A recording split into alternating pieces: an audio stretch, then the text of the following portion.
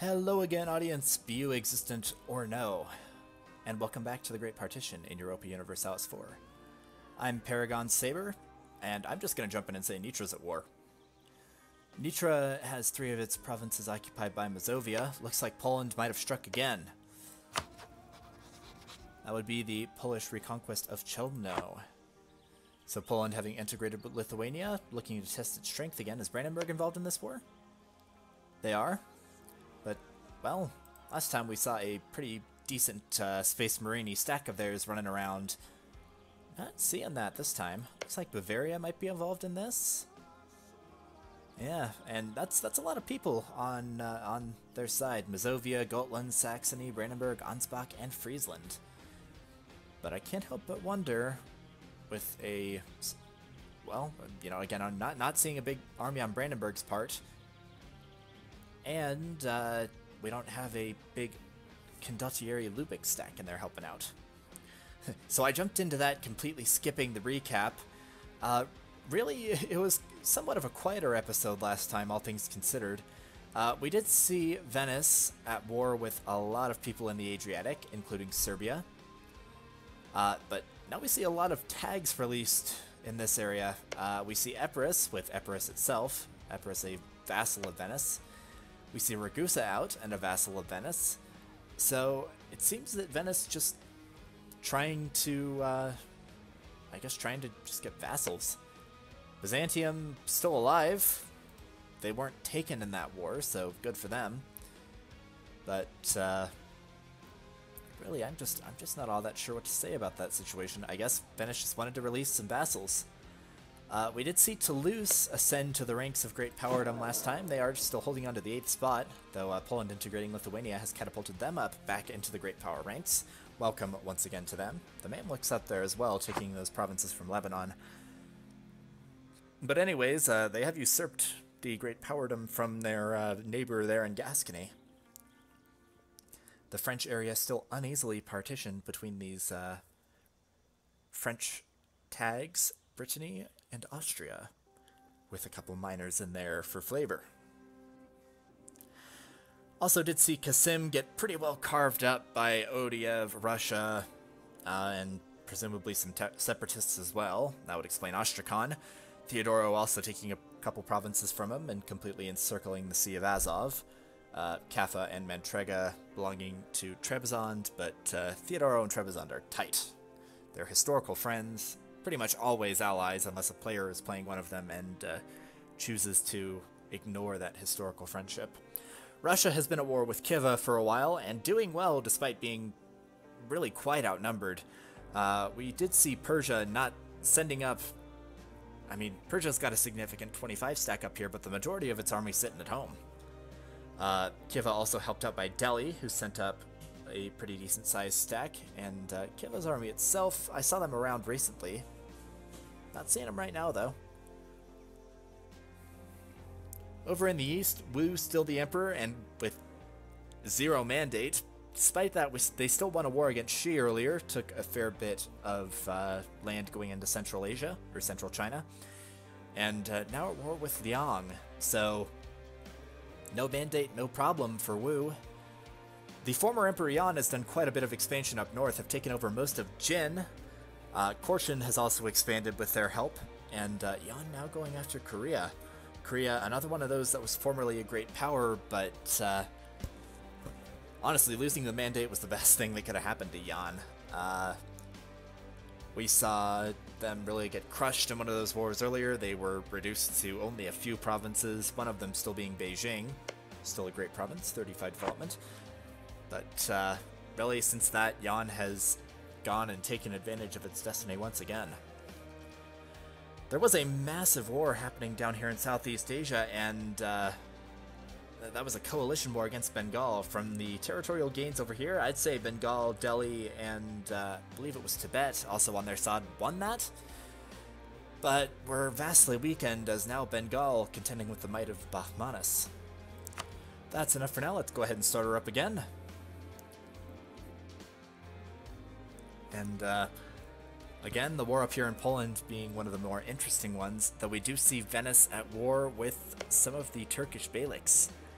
Mentessa, Kandar, and Eretna all fighting Venice. guessing uh, Venice might have initiated this one. That would be the Venetian conquest of Edirne. So, uh, the Ottomans not being in this area definitely means Venice has taken advantage. Though, odd how they chose to release all of these as vassals. We now see even Montenegro being spat out by Venice. Uh, they, they've got to have far too many diplomatic relations at this point. Uh, we do see, is Croatia also a vassal? No? We just see so much land going to Croatia. Is the Venetian ruler the Venetian ruler is a conqueror, which would certainly explain uh, if they managed to, say, get a coalition against them. But uh, not seeing one of those. they just have five vassals and two allies. You know, for a naval power like Venice, that can't be uh, nice, considering, you know, Diplo points are used for uh, for naval things. But hey, that's their choice, and again, this is in 1.20, which does still have that glitch, uh, where the AI likes to uh, hold on to far, far more diplomatic relations than is healthy. I was mistaken, I thought Nitra had taken Tirgovista and Buzau, but instead Odiev has. Odiev not holding on to the biggest of armies, not all of this land is that rich, but uh, again, continuing to expand, continuing to do well for itself. They have granted Nitra access, allows them to go over here and siege back these from Mazovia, and I did see a decent-sized Brandenburg stack again, so they built up their army, or perhaps the majority of their army was just off somewhere else. Uh, regardless, Brandenburg fully involved in this war again, still uh, holding on to a personal union over Ansbach. But we do see that uh, a lot of Mazovia's heartland has been sieged down by the Poles, including Warsaw, I mean, there, there are a lot of forts in this region. The Teutons start out with a fair bit of this land over here, and I think it's like four forts for nine provinces. Definitely annoying to siege down, especially as Poland in the early game, if you're playing them, because Poland doesn't exactly start out with a navy. It's kind of rough. And even if they did, the Teutons would likely be stronger. Poland deciding to siege down Belz instead. Uh, that does allow the allied Mazovian forces to siege down a lot of these back. Mazovia not having much luck with Ostroda here. Oh my goodness. Failing another 79% chance. I thought that didn't happen to the AI, frankly. but they'll get it here pretty soon. Most likely this next tick, if not the one after that. There we go. As for Warsaw, that at 7%, so Oh, and Poland uh, looking to go ahead and relieve that. Good call there, squishing the stack there. I believe that was Ansbach's. And uh, holding down the siege of Belz. Looks like Nitra's helping out with 5k of their own men there. Speaking of, where's Nitra's large stack? Nitra holding on to 30,000. Uh, they did split those off to help out with Belz, but now going over to siege back Mazir also a level 2 fort. And uh, Venice has done well for itself against the Beyliks over here. We actually see the Knights trying to siege down uh, what is usually Kocaeli, but renamed to Optimatoi because the Byzantines did take that at one point. Again, the Byzantines still alive, completely surrounded by Venice and her vassals, but uh,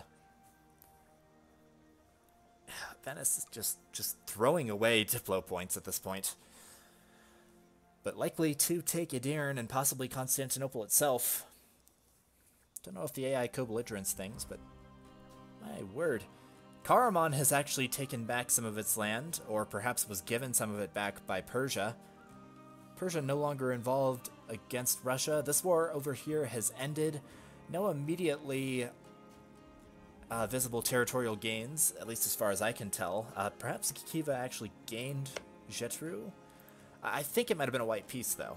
So, good job by Khiva Delhi Persia standing up against the Russian giant, who has instead turned its gaze toward the Uzbeks. The Uzbeks, pretty rough stuff on tech. They are five below Russia. Uh, let's actually check The Uzbeks were able to pick up the feudalism and uh, feudalism in the Renaissance, but no luck with colonialism. Russia has actually picked up all of them now, so that has catapulted them up to second-rank great power. That's got to help them out against Persia, as Persia holding on to only Tech 13 despite the numbers parity with Russia. And uh, let's check the institutions on them. So colonialism has made its way into some Persian territory, including up and over to Baghdad, so they'll probably be able to embrace that soon, but uh, the printing press not quite there yet. It is down in Anatolia though, so not too far away from Persian lands. A player likely to take some loans uh, in order to embrace an institution, institutions being eminently important. Germion has been in the middle of all of this for a long time. They were released, I believe, from Karaman earlier, or perhaps from Saruhan. Uh, now fighting Mentessa Kandar. And Bulgaria is here again. I thought I'd seen them eaten by uh, by Kandar, but they are just so stubborn. Very impressed with them. So we do see a Brunswickian army hired by Friesland and Brandenburg trying to siege back Warsaw, neg 29% then, or right now. Uh, Nitra, Poland have taken back Mazir. And really just Poland is losing to Brandenburg.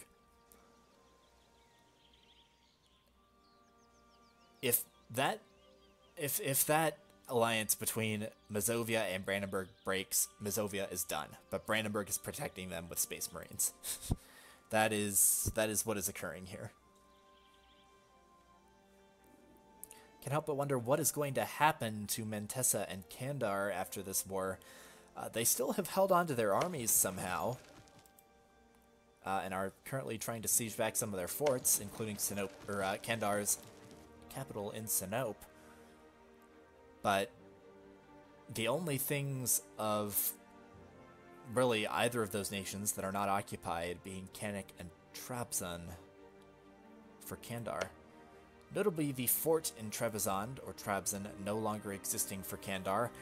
I wouldn't call that a great move. It can be difficult to pay for, but uh, that is, again, a coastal mountain province and one of the toughest forts to siege down at any point.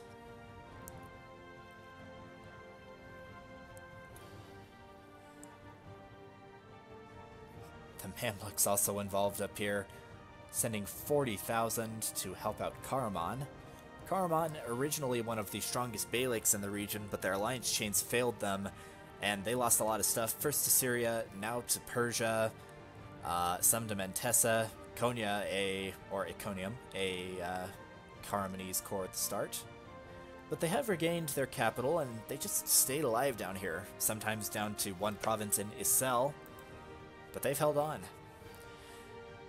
Mentessa has been removed from that war, or rather they've pieced out Venice. Or perhaps more that Venice has pieced them out. Venice has taken Edirne from them, as well as Philippe, Plovdiv, and Kirkilisse from Kandar.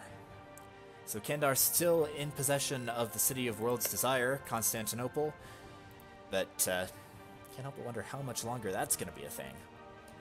Venice has stormed down here and just taken uh, a lot, not all, but a lot of the Balkans, and released dotted, uh, dotted trading cities and vassals everywhere.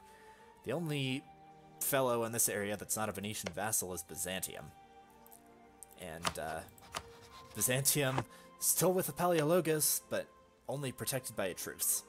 As soon as that's done, I think we'll finally see the last remnant of the Roman Empire fall. Though the Holy Roman Empire, not great on imperial authority, but, uh, you know, still a strong entity. We do thankfully see that the Protestants have stopped supporting Portugal as emperor, that made me really kind of sad. Instead, have chosen different people. Uh, we see Bohem Bohemia backing Württemberg, Brandenburg backing Hainaut, who exists again. They were eaten earlier, but uh, they're back. And Saxony backing Mazovia, but the Catholics still much preferring the usual emperor in Austria. We do see a lot of people moving around here. Has the League War fired? Nope. We do see the Augsburgian conquest of Ingolstadt. Think Ingolstadt, a yep, Bavarian territory. All of Augsburg occupied by Austria. Can't help but wonder why he'd go for that attack if uh, Austria was going to be protecting Bavaria. Bohemia involved in that war too. Uh, can't say. Seems that that was a pretty aggressive move, though. The Polish-Mazovian War is over. Uh, it doesn't look like all that much has changed hands. I think that Poland had retained control of Tuchola even before this. Actually, it appears that Brandenburg has somehow gotten control of Königsberg. Still allied with Mazovia, so perhaps they chose to sell that province? Yep.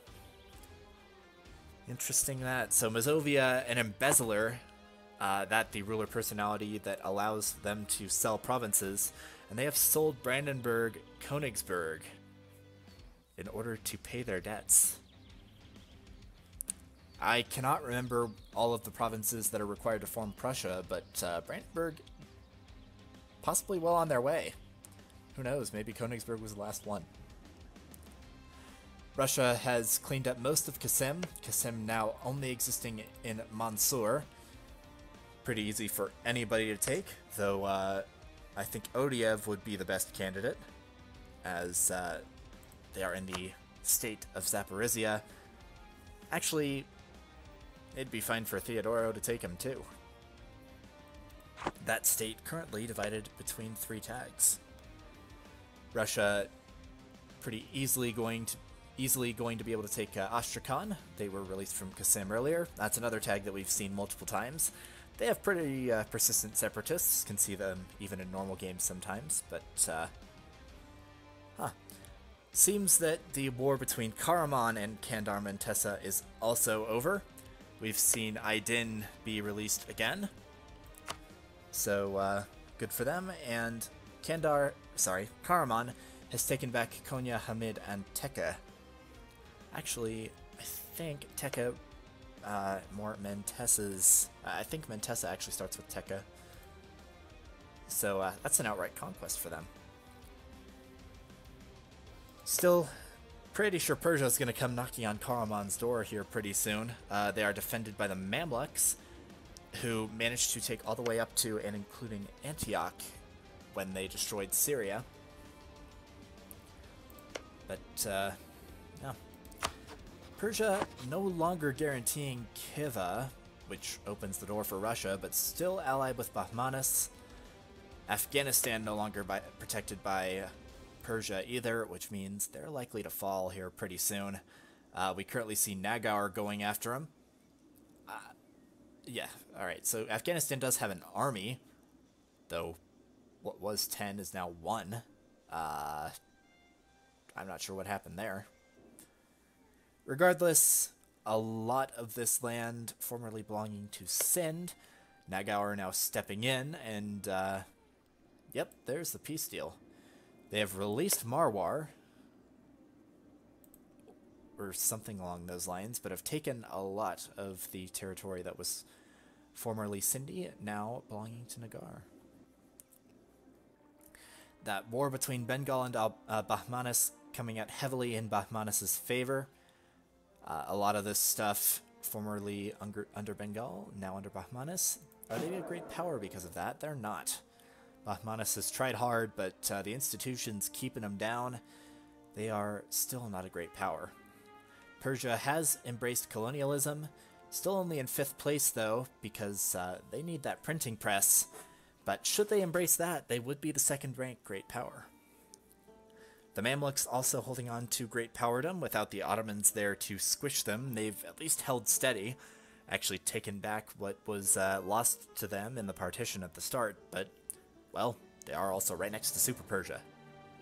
Venice still holding on to 8th with all of their Adriatic gains. Adriatic and Balkan. We do see uh, Bulgarian separatists originating from Kandar trying to siege down the trading city of Vidin. Uh, I don't know if Venice is going to help them out.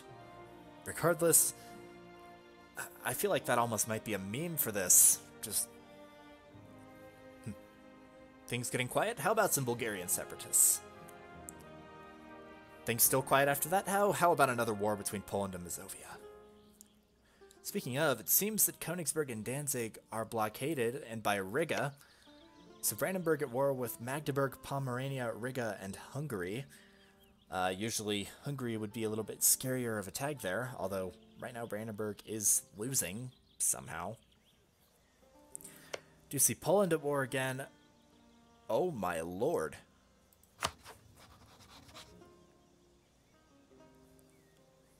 Nitran Venetian Punitive War.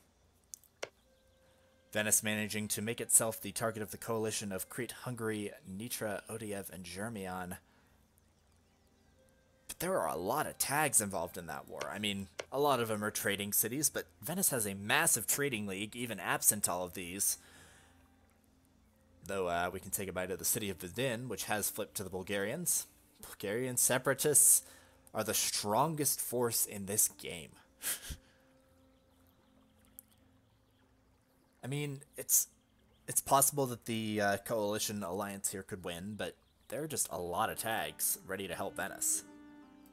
I, I think that was a bit premature on the war deck there from Nitra. They might have been able to get a few more people into that coalition. Do see Germian taking down the Knights army, though. And uh, they actually have managed to come under control of Huda Vendigar. Uh, a, another change of tags for that province, uh, presumably given to them by the Mamluks. Or, or, I can't remember if they initiated that war against Mantessa or the Mamluks did. Probably them, though uh, the Mamluks could have fabricated on Mentesha from Cyprus. Regardless, Vendigar is Germian's. That's the point. Don't know if we'll see the League War fire. Uh, the leagues are still drawn up, though it appears that Bohemia has become the Protestant leader. Of course, no changes over here for uh, Austria, the leader of the Catholic League and the Holy Roman Emperor. Just, uh, I don't know.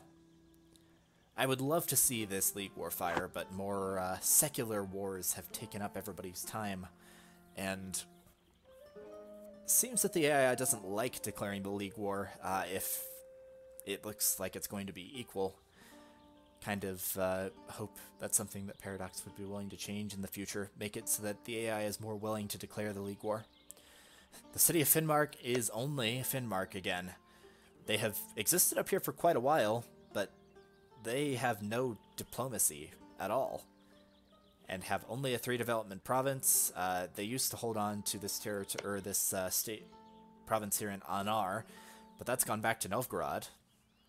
Novgorod has been just you can't call them lucky. If they were lucky, they'd have beaten Muscovy at the start, and you know they'd be Russia. But they've just they've not drawn Persia or Persia. Wow, they've not drawn Russia's wrath as nearly as much as they normally do. So they're sitting over here, mostly in Finland, and I mean, they are still holding on to provinces like Neva and Ladoga, which are pretty decent, can still field an army of 20k, but they're they're they're alive. they actually joined the Catholic League. Interesting that. Unable to rival Russia anymore, but they do have enemies in Denmark, Norway, and Perm. Perm, another semi-surprise. Uh, they, of course, were freed from Russia at the very start. And actually, oof. They're about to get absorbed by Russia. Kind of glad I caught that when I did, because uh, this is our goodbye to Perm. They enjoyed Russia's help and protection for about 150 years. That protection is now over, and Russia now wants their territory including the city of Perm itself. 15 development, certainly not bad. Good addition to the Russian Empire. find it funny that Gazikumukh's still around. Uh, they're allied with Kandar and guaranteed by Circassia. It really just seems like Persia doesn't want to conquer north of the Caucasus. I mean, fair choice by them. The Emperor is dead. Long live the Emperor, Joseph the First. And yes, we do see Brandenburg forming Prussia. That's awesome. I'm I'm happy to have seen that in this game. Uh, perhaps Königsberg was the last province that they needed to do that, or maybe they just needed an admin tech or something. Uh, what admin tech are they on? Ah, they're on Tech 15. Guessing they just needed uh, Königsberg. Still, we do see Prussia. We have official Space Marines now, and uh, we have the electors in Prussia supporting Hainaut. Do wonder how Hainaut was set free again. Uh, they are only in Namur, and actually it's Nevers that has done well for itself up here. Their initial province, or usual province in Nevers, lost to Austria, but they hold on to Rethel, Rethel being one of their initial provinces as well, and they've taken Hainaut, and uh, goodbye Luxembourg. So uh, perhaps that's what happened over here. Brabant is at war with Holland. I'm sure they'd love to be able to form the Netherlands. Brabant at war with Holland, Great Britain, Newfoundland, and Cuba. Okay, so somebody has gotten down into the Caribbean. That'd be the Dutch conquest of Vlaanderen. So it is Holland initiating this war, calling in some heavy hitters. I mean, these are all still Dutch states down here, so I don't think we'll have the, you know, Low Countries revolts type thing. But maybe the Netherlands reform. Regardless, it appears that it is Spain. No. Um. Uh, okay then. It is Great Britain that has colonized the Caribbean and still named it Cuba. That seems rather Spanish to me, but hey, whatever. Uh, do see Xiu having taken over pretty much all of the Mayan lands, though Quiché, one of the other Mayan states, has just migrated west and a little bit to the north, I suppose, uh, taking over what is normally Mixtec and Zapotec, and they are, uh, they do have both Colima and Tarascan as vassals. So, considering how they've lost all of their initial lands to Xiu, they're doing quite well. Though they're now losing a war to Totonac? Colima and Tarascan probably not happy with their overlord. 100% Liberty Desire for both of them. Can't keep those tags down. Is this Brittany? You bet your bottom dollar it is. Brittany attempting to colonize the Rio Grande region. That would actually be the southern tip of modern Texas, right next to the Rio Grande. So uh, good for them. A little bit of a late colonizer, but a colonizer nonetheless.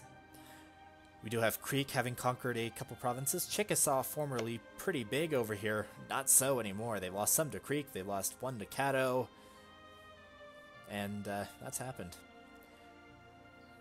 The British are finally in contact with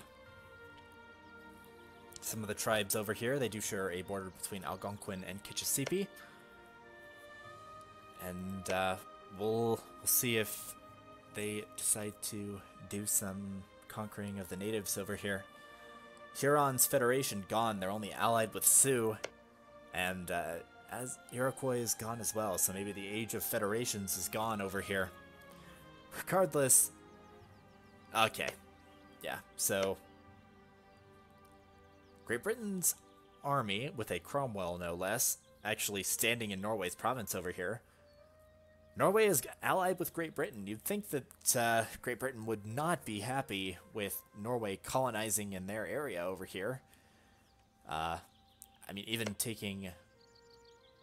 Eshimins is a decent province, but it's Satakona that's the, uh, the estuary. Regardless, that's cutting off the different portions of Newfoundland over here. Uh, I guess they're lucky they're both Protestant, because otherwise the Treaty of Tordesillas would be in play. Charca has continued to expand down here in South America, though we do see Spain colonizing the La Plata region. So uh, Charkid better work fast if they want to form Inca. I don't think they're going to be able to. They just haven't done this fast enough. That would be the timer. Before I leave, it does appear that Ashikaga has formed Japan and annexed Uesugi, so good for them. They do have about 50,000 guys. Uh, are they a great power?